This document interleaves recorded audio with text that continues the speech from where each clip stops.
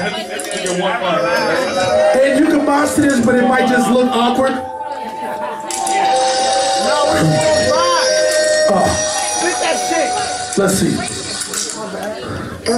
By daybreak, this scapegoat must be hung public in tragedies. The state claim or whether it's a performance or execution.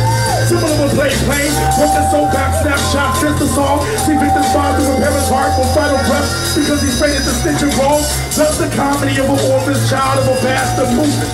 God bless the spare parts that wrote him in the movement. Falling lines well, even the blood splatters creates music. Drip like water to a river called by the spigot, followed by stairs. You can hear the mass crack. They'll feel heartbreak is abstract. And every king will get laughed at. Dipstick, love pain, happiness past that. Life turns leaf while reaches the last laugh at gray lips. Travel wear a muddy, bloody uniform. A trip off to make the ship destined to sink but made it to the harbor. Watch saplings reaching, releasing golden notes, breathing the nature still mates with the father.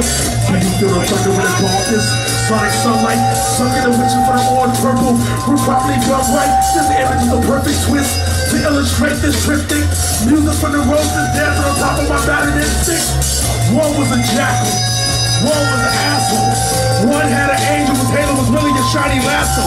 When the gallery opened to the audience, they only saw a mirror laughter. His observation reminded me of my last flow. In the toppers of a reach, I memorized where that grass grows. Dedicate part of my life to watering where that grass chokes. Difference between the truth and a lie is a lie has to make sense.